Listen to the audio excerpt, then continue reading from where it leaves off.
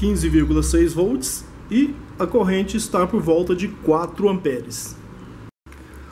Hoje eu decidi montar uma fonte de 12 volts e que eu vou usar aqui para o carregamento de bateria automotiva. E para isso eu vou tirar o transformador desse estabilizador de tensão. Como eu não encontrei nenhum enrolamento, nenhuma dessas derivações é, fornecendo a tensão que eu gostaria, eu vou desmontar o transformador, retirar esses enrolamentos, vou deixar o enrolamento, vou fazer um enrolamento para 220 volts e depois um enrolamento secundário com um fio um pouco mais grosso, é, na verdade bem mais grosso, para a saída de 12 volts. Na verdade vou fazer até com uma saída para 15 volts.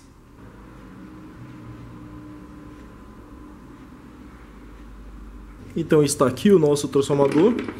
Vamos ligar aqui na entrada onde eu tenho mais enrolamentos, né? um cabo para conectar em 110 volts. Aqui nós temos uma ponte retificadora para 6 amperes, mas nós vamos é, retificar apenas entre 3 e 4 amperes desse, desse transformador. Ela será colocada nesse radiador de calor e temos aqui também um filtro, um capacitor, né, que vamos usar como filtro, um capacitor de 4.700 microfarads por 35 volts. Vamos montar tudo isso então. Bom, então a nossa fonte está pronta, produzindo aí 15,6 volts. Eu considerava que ela já estivesse pronta, né? Mas eu estou vendo que esse componente está se aquecendo. Então, nós vamos colocar ainda um dissipador de calor nele. E aí sim, finalmente ela está pronta. 15,6 volts e a corrente está por volta de 4 amperes. Então colocamos um pouquinho de pasta térmica aqui, um pouquinho não, né? Pusemos a quantidade suficiente.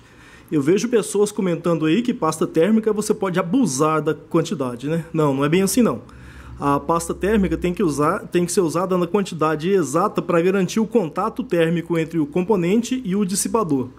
Se você quiser, pode até fazer uma experiência. Coloque uma pequena quantidade de pasta térmica na ponta de seu dedo e coloque o dedo agora em contato com o componente aquecido. Você vai sentir a temperatura. Coloque uma quantidade bem espessa e faça a mesma coisa. Provavelmente você não vai sentir o, o, aquecimento. Então, a pasta térmica, em quantidade exagerada, ela vai funcionar como um isolante térmico, impedindo que o calor passe do componente aquecido para o dissipador. Então, apenas a quantidade para que haja contato térmico entre o componente e o radiador. E aí, nosso, nosso carregador de baterias está prontinho. Então é isso daí, pessoal. Espero que vocês tenham gostado de mais esse vídeo e até o próximo.